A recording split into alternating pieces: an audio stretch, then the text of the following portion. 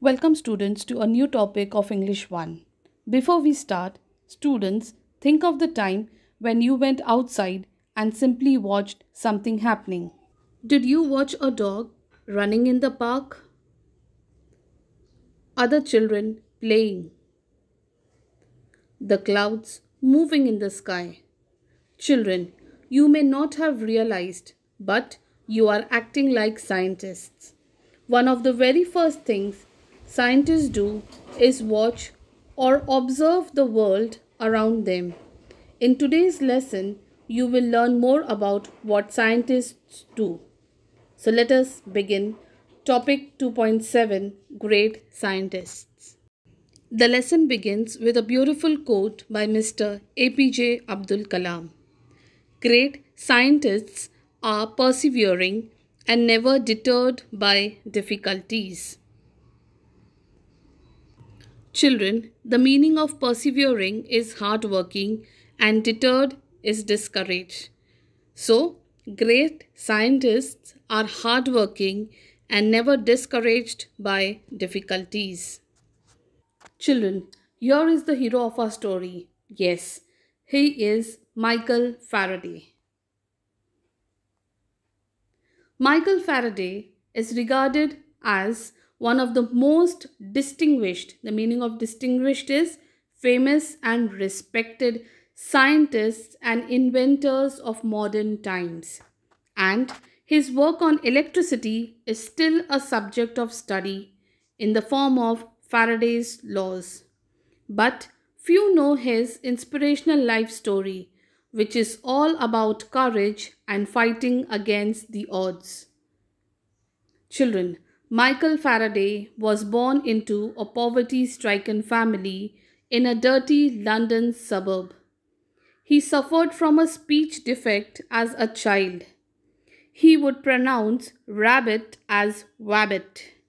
He could not even say his own name and would call himself Faraday. Other children laughed at him, and teachers did not help him either. When he was 12, his mother was forced to take him out of school, thus putting an end to his formal education. At 13, however, he started working with a bookbinder, binding hundreds of books during the day and staying up all night to read them.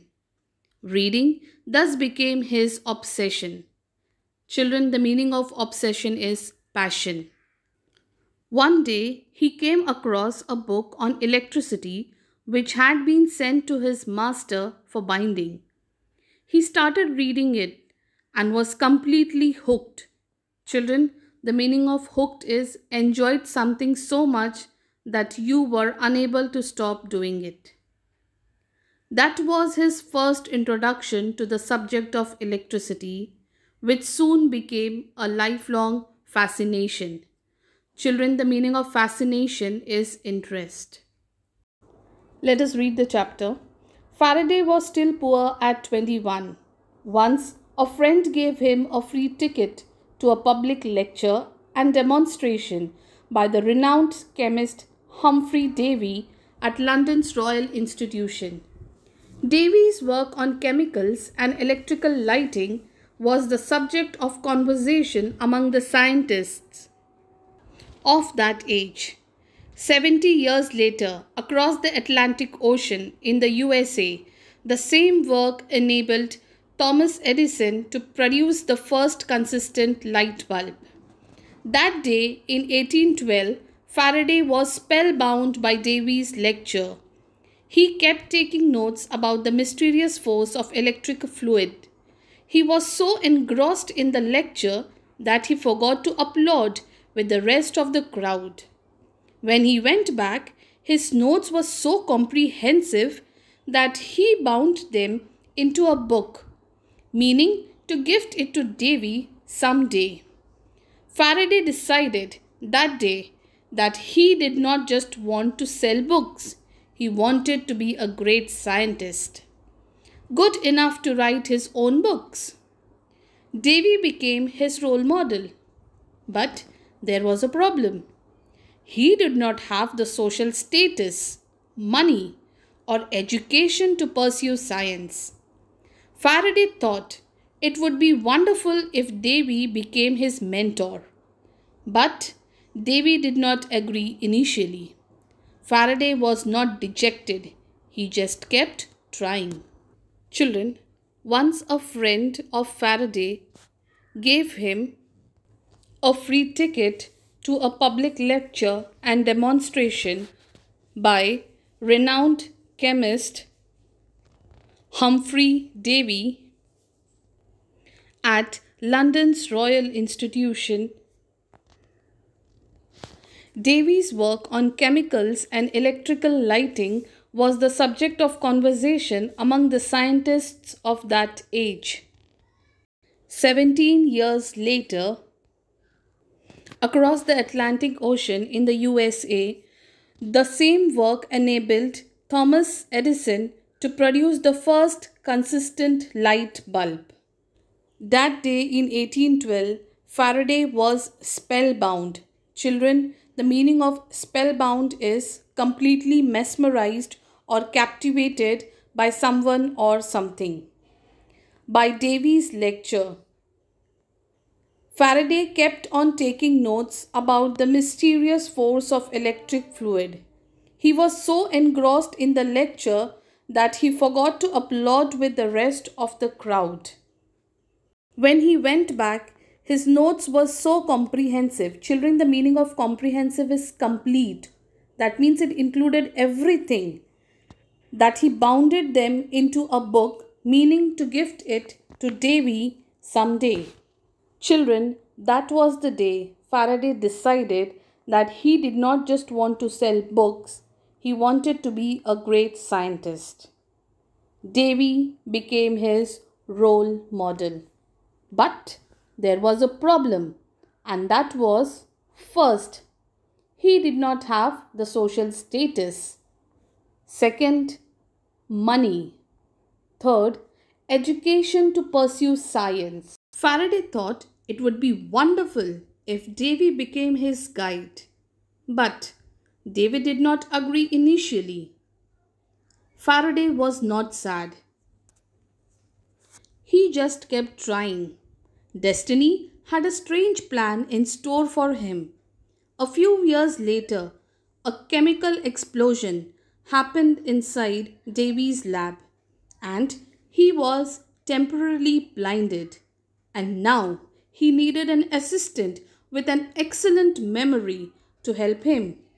He was reminded of Faraday and decided to hire him as his secretary. Considering Faraday's social status and education, Davy never believed that he could do anything in the field of science and so advised him to stick to bookbinding. But Faraday was relentless.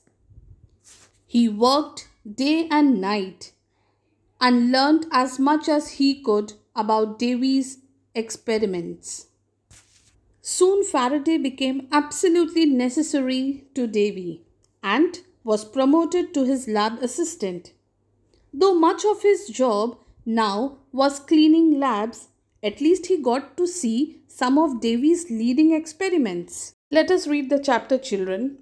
Even then, Davy did not have much hope for Faraday. Then Faraday got another chance to prove himself.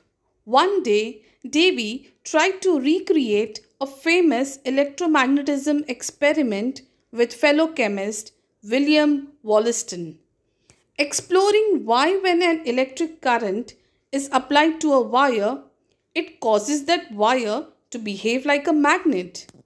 Obviously, the forces were connected, but nobody had figured out how to make it happen continuously. Davy believed that if he could find out why it happened and controlled it, there could be many practical applications of the force. But he was unable to figure it out and was frustrated. He then teased Faraday, asking him to try his hand at it after he was done cleaning the lab. Within a few days, Faraday solved the problem. In fact, he went further and the result was the first induction motor, which converted electrical current into continuous mechanical motion. Children, still Davy did not have much hope for Faraday. Then Faraday got one more chance to prove himself.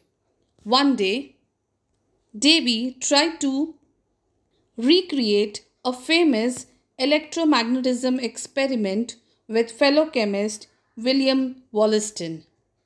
The forces were connected, but nobody had figured out how to make it happen continuously. Davy believed that if he could find out why it happened and controlled it, there could be many practical applications of the force, but he was unable to figure it out and was frustrated. He then teased Faraday, asking him to try his hand at it after he was done cleaning the lab. Within few days, Faraday solved the problem. In fact, he went further and the result was the first induction motor which converted electrical current into continuous mechanical motion. The induction motor started a revolution.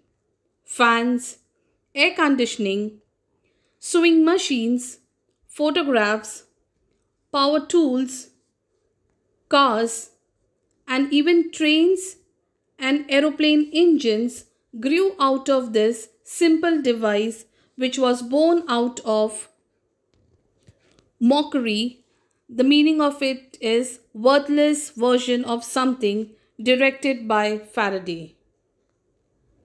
Students, I hope so far everything was clear to you. Please see that you read the chapter and watch the video once again to have a better understanding. Thank you and take care.